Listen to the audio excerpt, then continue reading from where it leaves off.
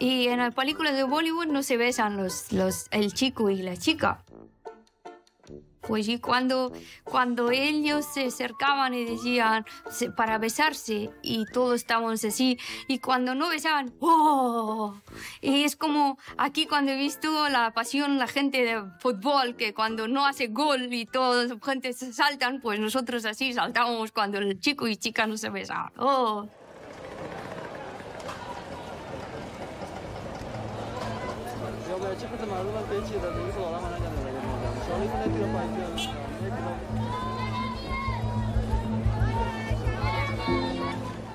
Mi hermano estaba muerto, mi padre estaba enfermo, mis hermanas eran pequeñas, mi madre que no había trabajado nunca.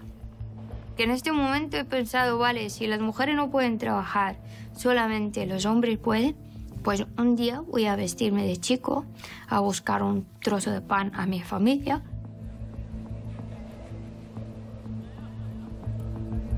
Yo vivía con mucho miedo, pero vivía. Aprendí todas sus normas de los talibanes, sabiendo qué quieren. Yo viví todo el régimen de talibanes. Dentro de talibanes había gente que también eran buenas, querían paz. Pero también había gente que tenían solamente, eran psicópatas y querían matar para eh, acabar con esta vida. Y esto es porque son personas órfanos que han quedado después de guerra civil en mi país, que han visto sus padres muriendo delante de ellos, sus seres animados todos están muriendo delante de ellos y ellos han crecido de decir la vida que terminó.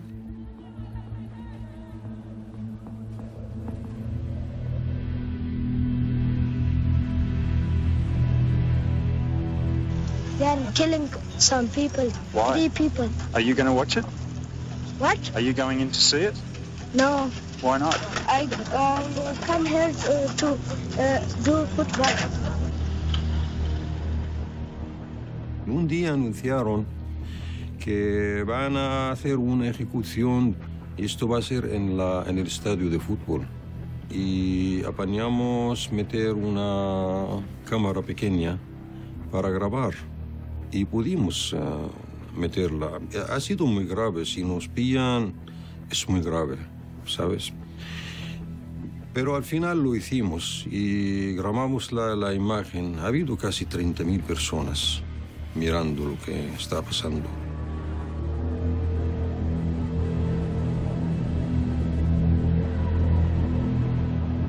Ha sido chocante para mí. Al final le pregunto a uno de los talibanes, talibanes, oye, la gente va eliminando la sentencia de muerte en casi todo el mundo. ¿Vosotros por qué esta insistencia en la pena de muerte? Me dijo, es que esto viene en un texto del Corán. O sea que la ley de ojo por ojo, diente por diente, ¿no? Segunda razón es la tradición afgana. El afgano tiene que tomar re- revancha.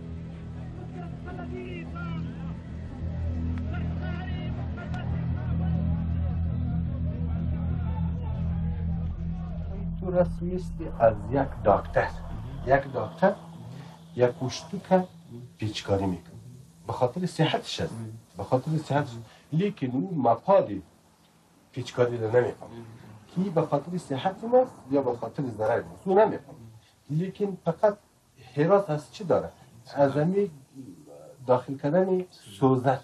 Cuando nos decían, ahora vais allí y ver, aceptábamos que ahora vamos a ver esta persona cómo muere o esta mujer cómo muere. Por el segundo, el siguiente soy yo. Y así, con este miedo, con este dolor, íbamos y sentábamos y mirábamos ese dolor pensando que esto va a pasar mañana. A medida que iba creciendo, venían muchos problemas, como yo físicamente cambiaba como mujer, pero siguiendo siendo hombre, ¿no? Al principio iba una na- navaja en mis bolsillos, pensaba que si los talibanes me cogen, eh, ellos me van a, a lapidar. Pero antes de lapidarme, y yo tengo que hacer algo para terminar con mi vida. Pues pensaba que este navaja funciona, porque claro, con que había visto muchas películas en estos cines de clandestinos, mm, era pequeña, pensaba que esta navaja tan pequeña me puede matar, pero ahora que pienso que no había saliendo, estaba solamente, era pequeña y pensaba que esto va a funcionar.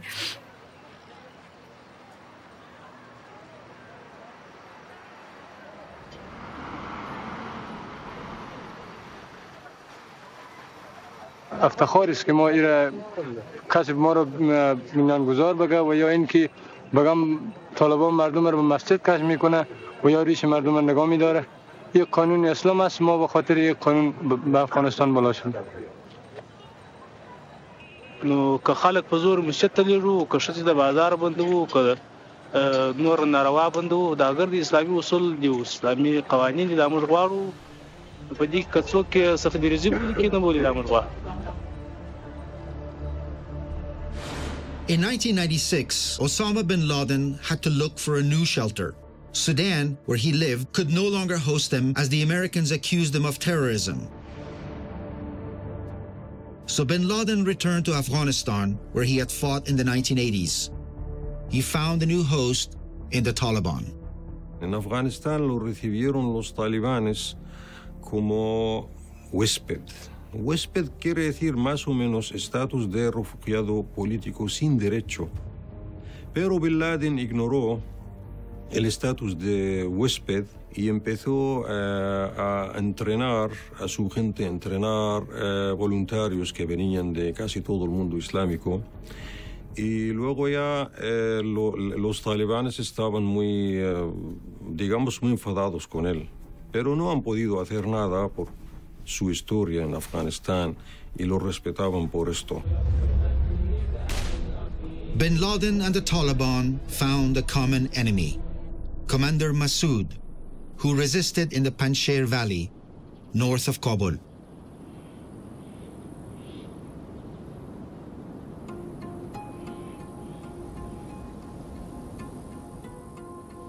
Aujourd'hui, les talibans menacent l'entrée de la vallée.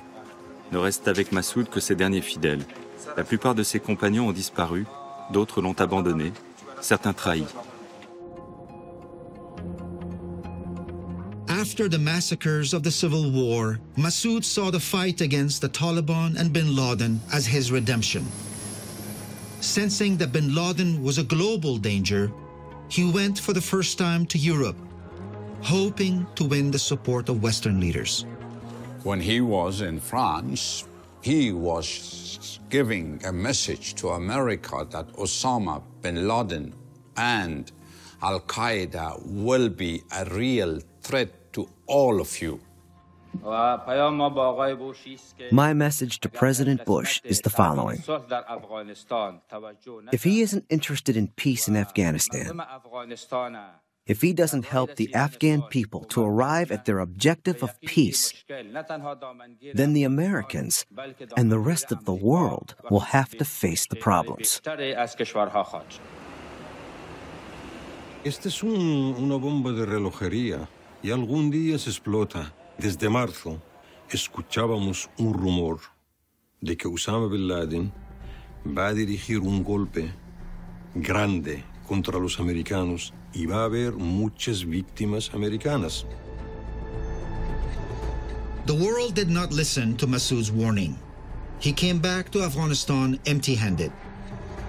By September 2001, bin Laden was ready to attack America. Early that same month, two men were sent to Panjshir, deposed as journalists, and asked to interview Commander Massoud. Two boys came two terrorists, I can say, from Al Qaeda. They were not journalists. They were pretending to be journalists. They came with their camera, but the people were saying they were very much taking care of their camera, not giving to anyone. They were called for the interview. Me and Commander Massoud went to that room. I was just beside him around 15 questions I think nine or ten, eight or nine were about Osama bin Laden. Why in France you talked against Osama bin Laden? Why you don't believe in him? The minute commander was here, the minute I wanted to whisper, what is the situation in Persian? Boom.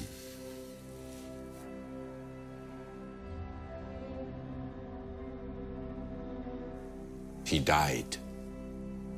He was killed in my lap.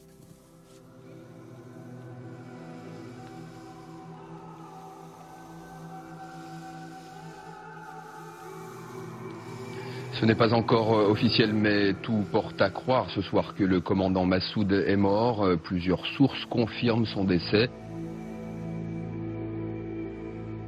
I opened my eyes. My wife was there.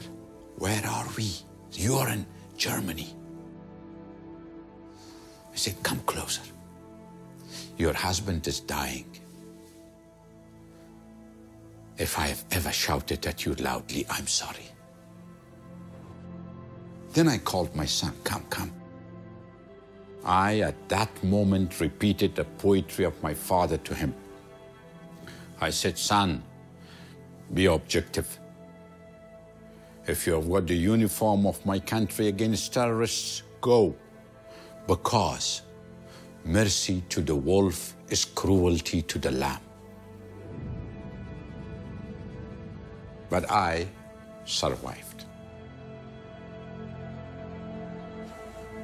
And after two days, New York.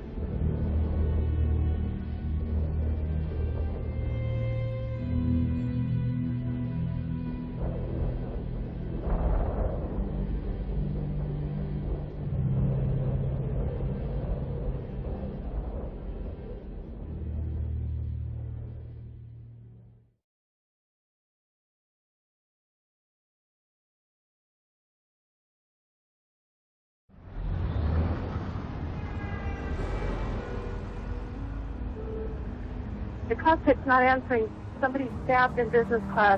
I don't know. I think we're getting hijacked. Another one just hit the building. Wow. Another, wow. Another one hit it hard. Another one just hit the World Trade. Holy smokes.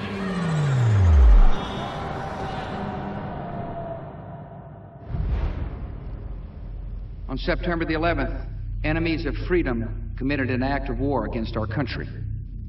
The evidence we have gathered all points to a collection of loosely affiliated terrorist organizations known as Al Qaeda.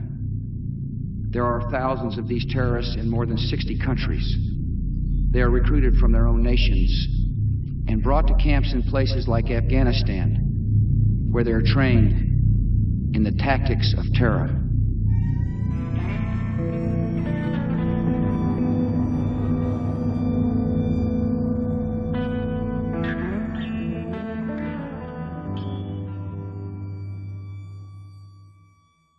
If you look at the people who were in the plane who committed suicide and killed more than 3,000 people in New York, none of them were Afghan. None of them were Afghan. All of them been in Afghanistan. And why that has happened? Because Afghanistan was forgotten. And if again Afghanistan is forgotten and isolated, no guarantee that it will not happen.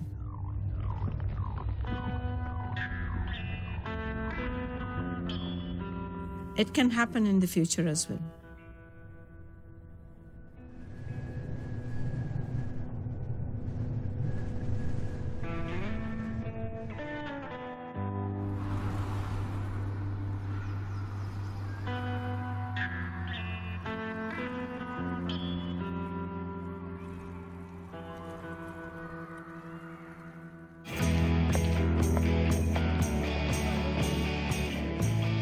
Rise of Islamic fundamentalism in Afghanistan began in the late 60s as the elite in Kabul embraced a Western way of life and the youth dreamed of a socialist revolution. But many Afghans were uncomfortable with these changes. The violent communist takeover in 1978 and the repression of Islam further widened the gap.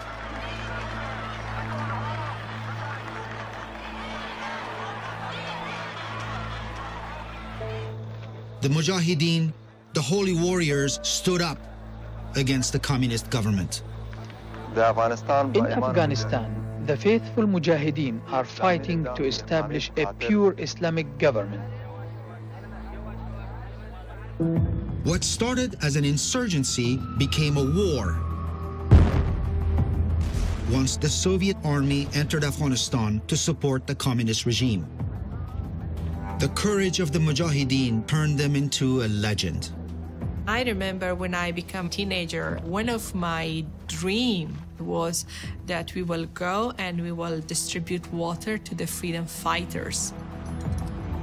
The Mujahideen received international support from the USA as well as from the Muslim world. In the 1980s, Osama bin Laden came to Afghanistan to join the war against the godless Soviets. Politics is always dirty. And the countries who are involved, they choose the most conservative group of people and train them and made them monsters just to get rid of those USSR.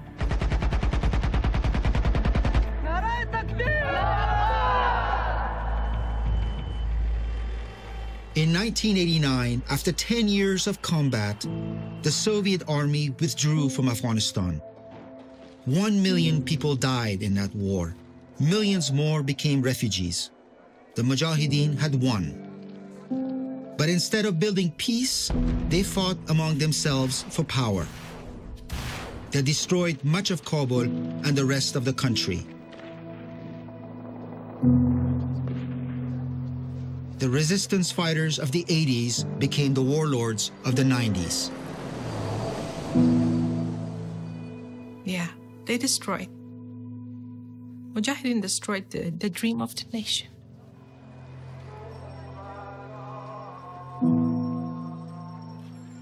In 1994, a new force emerged, the Taliban. A militia led by clerics and made of young men raised in refugee camps. With the support of Pakistan, they overcame the warlords. By 1996, the Taliban ruled over the country. People were suffered from civil war badly. When Taliban came, amazingly they was been welcomed by Afghans. The new rulers brought peace, but enforced a harsh interpretation of Islamic law. Alcohol and sports were forbidden. Movie theaters were closed. Women were segregated. محرمت کجاست؟ پایت چرا مالم شد؟ ناخونت چرا مالم شد؟ چادریت چرا کوتاست؟ چرا دستت از زیر چادری کشیدی؟ دیگه تمام زنای افغانستان دستیاچای زندان انداخته شدن. به شمول خدا. وحشتناکترین زمان برای مردم افغانستان